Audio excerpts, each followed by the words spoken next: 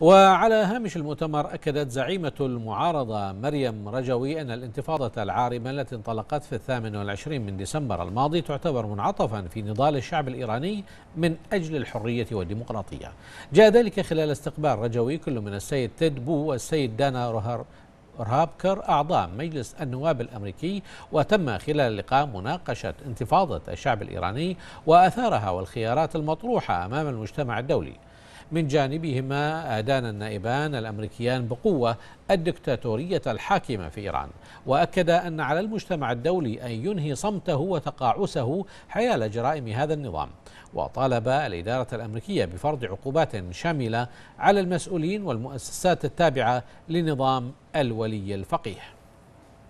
Every person has down in their soul كل شخص في العالم لديه رغبة جامحة في داخله ليكون حرا. جميعنا نريد ذلك. لكن شعب إيران الطيب يخسر قدرته على نيل الحرية بسبب النظام وهو واجبنا وهدفنا لتحقيق تلك الرغبة الشعبية. بالحصول على الحرية سواء رغب نظام الولي الفقيه بذلك أم لا.